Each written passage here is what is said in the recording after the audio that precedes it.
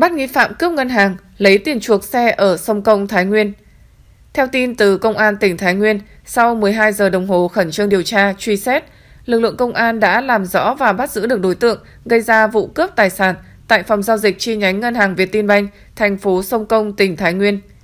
Ngay sau khi xảy ra vụ cướp, Công an tỉnh Thái Nguyên đã phối hợp với phòng phòng ngừa, đấu tranh và hướng dẫn điều tra tội phạm có tổ chức, tội phạm gây án đặc biệt nghiêm trọng, Cục Cảnh sát Hình sự Bộ Công an triển khai các biện pháp nghiệp vụ, huy động lực lượng điều tra xác minh, điều tra, truy xét đối tượng.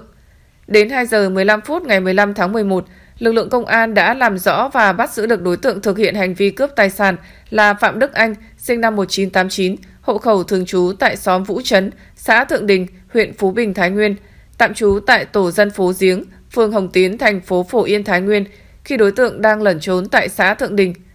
Khám xét khẩn cấp nơi ở tạm trú của đối tượng, cơ quan công an thu giữ gần 394 triệu đồng, một súng ngắn bằng nhựa và một số vật chứng liên quan khác. Bước đầu, đối tượng khai dùng súng nhựa để đe dọa nhân viên phòng giao dịch và đã sử dụng số tiền 290 triệu đồng để chuộc xe ô tô do đã cầm cố trước đó. Cơ quan Cảnh sát điều tra Công an tỉnh đã ra quyết định tạm giữ đối với Phạm Đức Anh để điều tra, xử lý theo quy định của pháp luật.